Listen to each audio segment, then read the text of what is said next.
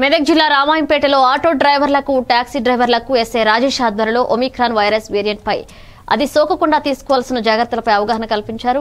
Ramayampet police station ముందు జరిగిన ఈ కార్యక్రమంలో రామాయంపేట రాజేష్ మాట్లాడుతూ కరోనా వ్యాధి తగ్గింది అనుకుంటే కొత్తగా ఒమిక్రాన్ వైరస్ ప్రపంచ వ్యాప్తంగా విజృంభిస్తుందని కావున మనం కూడా తగు జాగ్రత్తలు తీసుకోవాలని మాస్కు మాస్కులు ధరించాలని సోషల్ డిస్టెన్స్ పాటించాలని శానిటైజర్ ఉపయోగించాలని అనవసరంగా బయట తిరిగి రావద్దని ఆటోలలో ట్యాక్సీలలో పరిమితికి మించి ప్రయాణికులను ఎక్కించరాదని ఎవరైనా మాస్క్ లేకుండా బయట తిరిగితే వారికి వెయ్యి రూపాయల జరిమానా విధించడం జరుగుతుందని తెలిపారు.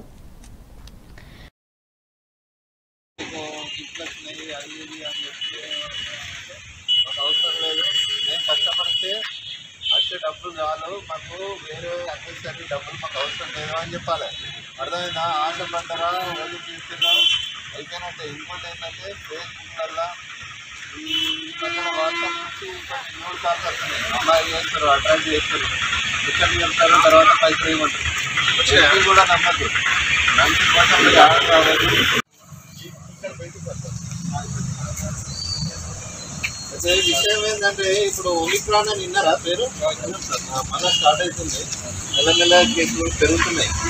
అంటే గవర్నమెంట్ చెప్పి లెక్కల ప్రకారం వస్తే మనం ఎప్పుడైనా ఎక్కువ ఇచ్చుకోవాలి ఎందుకంటే చాలా మంది బయట గ్రామాలు ఉంటారు కదా. ఇప్పుడు అందరు లేదు అందరూ ఏమైంది? నార్మల్గా అలవాటు పడిపోయింది ఏంటి వస్తుంది పోతుంది అసలు కరోనా అయిపోయింది అనే ఆలోచనలు ఉన్నారు. ఏంటి తొందర అయితే ఏమనుకుంటారు అసలు కరోనా అనేది మళ్ళీ రాదు అనే ఆలోచనలు ఉన్నారు. చాలా మంది అట్లా లైట్ తీసుకొని ఇప్పుడు ఎట్లయిపోయింది ఫంక్షన్లు నార్మల్గా అయిపోతున్నాయి జనాలు తిరగడం నార్మల్ అయిపోతుంది. అంతేందుకు మీ లెక్కల మాట్లాడితే ఆటోలలో కూడా మళ్ళీ పది పదిహేను మంది పుట్టిపోతున్నాయి అప్పుడు ఆలోచిస్తారు. అప్పుడు ఆలోచిస్తారు. మీరు ఆలోచిస్తుంటే మీరు కూడా అరే భయం ఎందుకు అనుకుంటుంటే ఇవన్నీ అయిపోయింది కదా. కానీ మళ్ళీ స్టార్ట్ అయింది కాబట్టి మీరు అంతకుముందు కరోనా టైంలో ఎట్లా టైం చేసుకుంటే ఎక్కించారు మాట ముగ్గురు అంటే. ముగ్గురు అది కూడా మాస్క్ లేకుండా ఇంకా వైరస్ యొక్క విజృంభణ అనేది మనం ఫస్ట్ వేవ్లో సెకండ్ వేవ్లో చూసినాం. ఇప్పుడు ఒక సిక్స్ మంత్స్ నుంచి రిలాక్స్ అయ్యి అందరూ నార్మల్ లైఫ్ స్టైల్కి అలవాటు పడి మళ్ళీ ఒమిక్రాన్ అనే మ్యూటేషన్ రూపంలో మళ్ళీ కరోనా వైరస్ అటాక్ అవుతుందని కొన్ని వాస్తవాలను మనం దృష్టిలో పెట్టుకొని ఖచ్చితంగా ఇంతకుముందు మనం కరోనా పీక్ స్టేజ్లో ఉన్నప్పుడు ఎటువంటి జాగ్రత్తలు పాటించినాము? మాస్క్ ధరించడం కావచ్చు శానిటైజర్స్ వాడడం కావచ్చు సోషల్ డిస్టెన్స్ పాటించడం కావచ్చు. అవసరమైతే బయట తిరగకపోవడం కావచ్చు. హెల్త్ పరంగా మనం న్యూట్రిషన్ ఫుడ్ తీసుకోవడం కావచ్చు.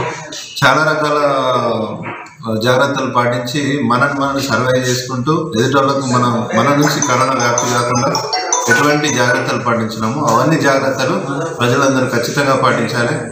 ఇంకోటి మా తరపు నుంచి స్ట్రిక్ట్గా చెప్తున్నాం ఎవరైతే మాస్క్ లేకుండా బయటకు తిరుగుతారో బయటకు వస్తారో వాళ్ళ మీద ఖచ్చితంగా వెయ్యి రూపాయల జరిమానా విధించబడుతుంది కాబట్టి ఖచ్చితంగా ప్రజలందరూ మాస్క్ ఖచ్చితంగా ధరించాలి సోషల్ డిస్టెన్స్ పాటించాలి. అవసరమైతే తప్ప బయటకు అన్నెసరీ తిరగకుండా ఉండాలని మా పోలీస్ శాఖ నుంచి విజ్ఞప్తి చేస్తాం